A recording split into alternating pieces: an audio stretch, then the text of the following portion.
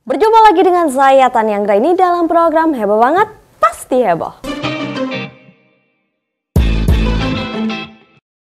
Beredar video seorang istri sah mengajak sang suami makan di tempat kerja selingkuhan suaminya. Tak ingin bersusah payah melabrak dengan penuh emosi, wanita ini tampak tenang bertemu dengan selingkuhan suaminya di tempat kerjanya. Melansir Tribun Sumsel, wanita ini telah lama mengetahui jika sang suami memiliki selingkuhan. Lokasi tempat kerja wanita yang diduga selingkuhan itu adalah sebuah restoran yang ada di Mall kawasan BSD Tangerang Selatan. Momen tak mengenakan itu pun disebarluaskan melalui akun TikTok at Your hingga menyita perhatian publik. Tampak dari video itu, pelayan restoran yang diduga selingkuhan itu hanya bisa mengalihkan pandangannya. Ia tampak tertunduk saat melayani kekasihnya bersama dengan istri sahnya, sambil melakukan urusan pembayaran menggunakan kartu debit. Pemilik akun pun menyertakan keterangan video yang menjelaskan dirinya tidak ingin melabrak selingkuhan tersebut. Dengan tenang, ia menikmati makanan di restoran tersebut tanpa membuat keributan. Diduga istri sah tersebut sengaja untuk mengajak suaminya sekaligus ingin melihat sosok wanita yang diduga punya hubungan spesial dengan sang suami. Namun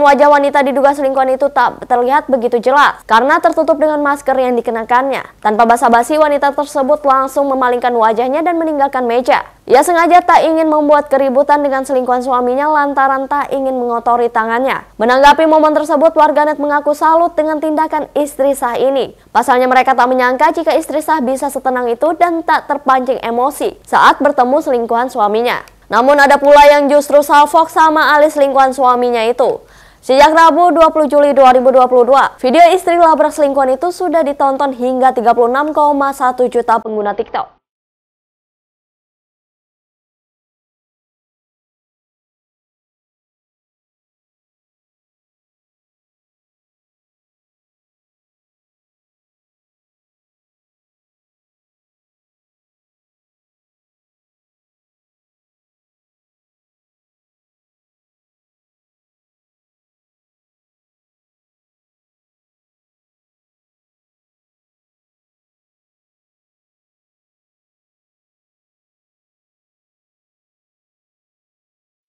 Demikian informasi kita kali ini. Jangan lupa terus saksikan program terupdate Banjarmasin Post dan jangan lupa follow dan subscribe Instagram, Facebook, dan YouTube Banjarmasin Post News Video.